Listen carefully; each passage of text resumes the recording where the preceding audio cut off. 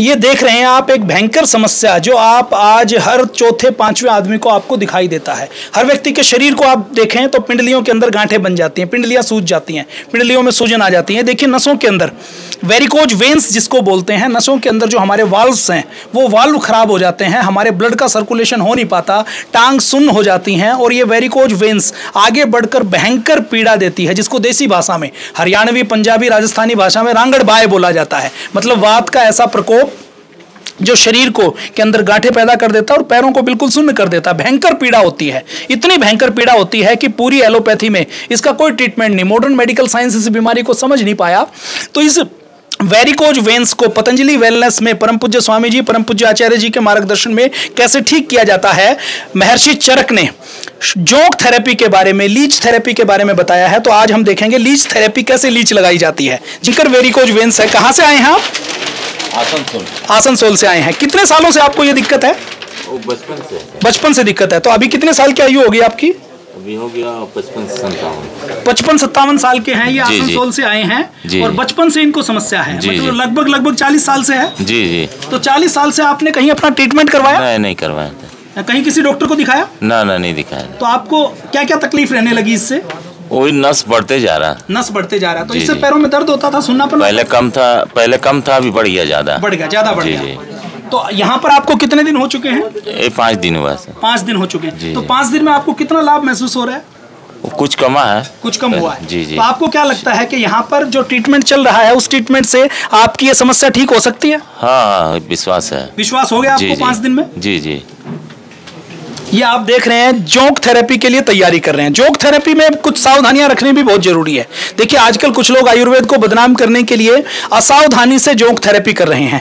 जिसकी भी जोंक थेरेपी की जाती है, उसके खून की, उसका कंप्लीट ब्लड का प्रोफ़ाइल लिया जाता है। उसके अंदर प्लेटलेट्स कितने हैं, एचबी कितना है, उसके खून में थक्का जमाने वाले तत्व कितने हैं, क्योंकि जब हम किसी को जोंक लगाते हैं तो जोंक लगाते हुए, जोंक जो खून चूसती है। यदि खून में यदि किसी भी प्रकार से एच कम है या खून ठीक से काम नहीं कर पा रहा पा रहा तो उसमें उस रोगी को इससे हानि हो सकती है।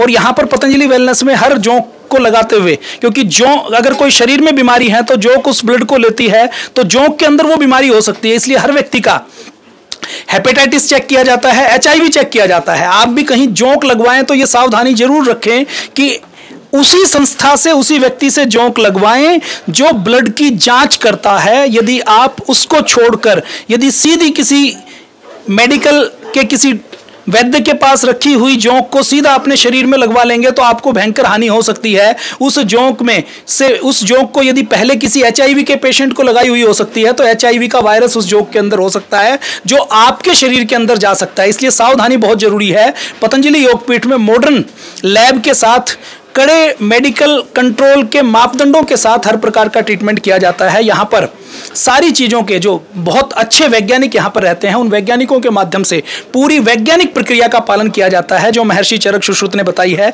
या आप देख रहे हैं कि ये जोंक लगाई जा रही है। ये जोंक भी विशेष प्रकार की जोंक होती है। ये जोंक जैसे ही हम लगाते हैं तो ये जोंक, क्योंकि दूसरे परजीवी है एक प्रकार से, दूसरे के खून के ऊपर ये जीती है। तो ये जोंक जैसे ही हम लगाते हैं इन वेंस के अंदर तो वेंस के अंदर जो क्लोटिंग पैदा करने वाले विजातीय पदार्थ हैं, जो टॉक्सिन्स हैं, जो विजातीय द्रव्य हैं, उन सबको ये चूसना शुरू कर देती है। जोंक जैसे ही हमारी स्किन से टच करती है तो ये ऐसे केमिकल छोड़ती है कि सबसे पहले तो ये हमारे खून के अंदर जो थक्का बनाने की जो प्रॉपर्टीज़ है, जो क्वालिटी है, उसको न्यूट्रलाइज करने के लिए ऐसा एक रसायन छोड़ती है जिससे हमारे खून का थक्का नहीं जमता। और दूसरा, ये एक नेचुरल पेन किलर छोड़ती है।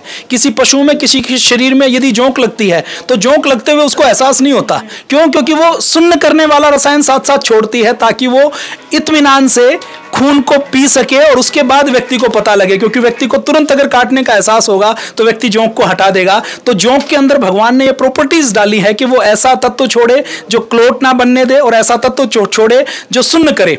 ये जोंक, इस वेरिकोज वेंस में बहुत काम आती है, जिनको हार्पीज है, जिनको स्किन की कोई भयंकर बीमारी है, जिनके स्किन के अंदर जो भयंकर कोई दूसरी समस्या है, उन सबको ये जोंक ठीक करने का काम करती है। ये आप देख रहे हैं, जोंक कैसे लगाई जाती है। आप आज पतंजलि वेलनेस में है। पतंजलि वेलनेस परम पूज्य स्वामी जी पूज्य आचार्य जी के मार्गदर्शन में पूरी दुनिया को स्वस्थ बनाने का एक अभियान है। सुबह सुबह योग को आप पूज्य स्वामी जी के मार्गदर्शन में इंडिया टीवी पर आस्था टीवी पर लगातार देखते हैं। आपके आसपास भी यदि कोई गंभीर व्यक्ति है तो आप उसको योग करने के लिए प्रेरित करें। और किसी को गंभीर बीमारी है तो वह व्यक्ति पतंजलि वेलनेस में आकर इसका लाभ ले सकता है। देखिए डायबिटीज़ वालों को एक समस्या होती है, उनके टिश्यूज डेड हो जाते हैं। ये जोंक केवल खून नहीं पीती, जो डेड टिश्यूज हैं, उनको भी साफ़ करने का प्यूरिफाई करने का काम ये जोंक करती है। तो आपने ये जोंक चिकित्सा देखी, और जोंक चिकित्सा में सावधानी भी ज़रूर रखें।